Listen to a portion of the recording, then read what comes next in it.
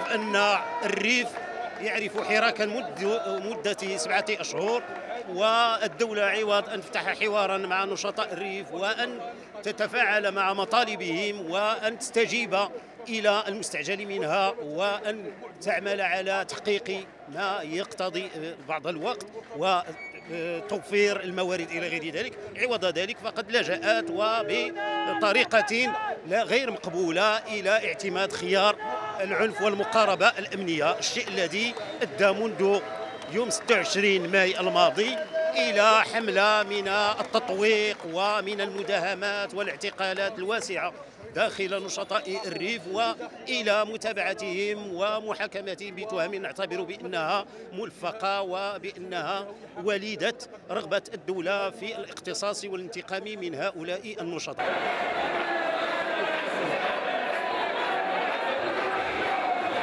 اليوم في هذه المسيرة الشعبية الكبرى للتضامن مع كل ضحايا القمع المخزني.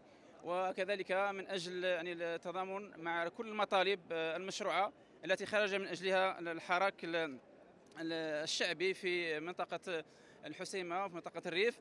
وكذلك أيضا عنوان العام لهذه يعني المسيرة هو التأكيد على أن هذا الشعب هو شعب واحد.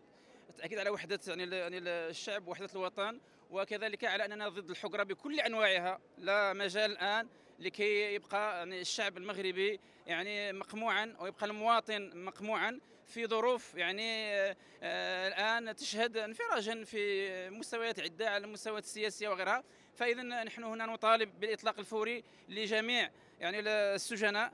لجميع الموقوفين سواء كانت في منطقة الريف أو في جميع المناطق في البلد.